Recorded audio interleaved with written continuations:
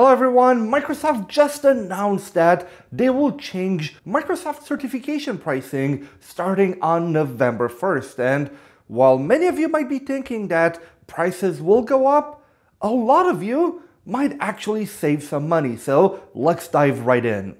So first of all, let's review the announcement, what Microsoft said.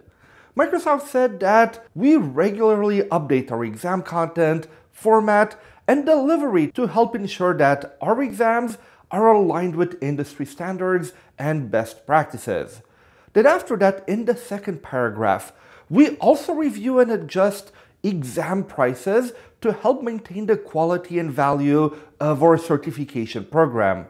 As a result, effective November 1st, 2024, Microsoft is updating the retail prices for its certification exams to reflect the current market conditions. I'll be honest with you, as soon as I read that, especially with uh, the crazy inflation going on worldwide, there's no hiding about it, I was sure certification prices will go up. So in that blog post, which by the way, the link will be in the description below, Microsoft shared a PDF document that shares the new prices in US dollars for their fundamentals and advanced role-based exams across the world. So basically the easiest way to go consume it is go control F, search your country, and then see how much the new price will be.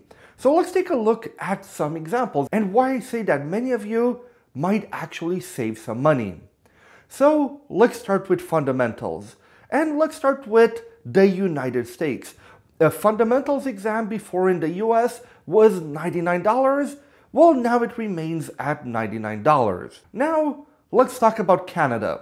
Canada as well, a fundamentals was 99 USD, but now it will go to 84 US dollars. So we will save 15 US dollars per fundamentals exam. Australia was $99 as well, and it will become $84 in the future, so same price range as Canada. Then let's take a look at South Africa. In South Africa, exams were already way cheaper, so they were $55 for a fundamental exam. Well, starting from November 1st, they will be $44. Taiwan, their fundamental exams were $75 while now there will be $50. So quite a big price decrease there as well. And a final example, let's take a look at Costa Rica, which was $60. It will now be $59. So I guess technically $1 cheaper. I'll be honest with you, before doing this video, I had no idea about how many different pricings Microsoft had for certification. So I knew there was like a $99 USD tier and some cheaper ones, but I didn't know there was a 55, a 60, and a 75, so that close to each other. Now let's talk about advanced role-based, where again, we will now have six different possible prices, 165, 140, 115, 99, 83, and 58 US dollars. So let's take a look at a few examples for advanced role-based as well. In the US, exams were $165 and nothing changes. It remains $165. For Canada, they were $165.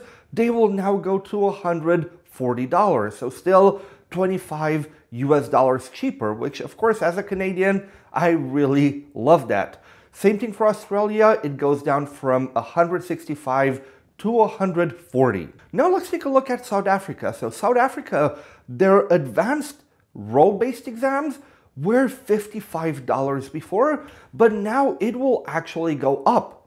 Not by a lot, but still it will go up from $55 to 58 US dollars.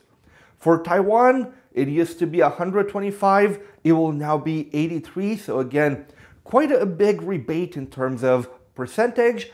And finally, for Costa Rica, it used to be 100 and Costa Rica still saves only $1. So they're getting some rebates, but definitely not as much as some of the other countries. So as you can see, for most countries, prices will either stay the same or go lower, and in very few cases, the prices will go up high. So before we finish, how does this news affect you? So if you're planning to take a Microsoft certification exam, you can register and take the exam at the current price until October 31st, 2024.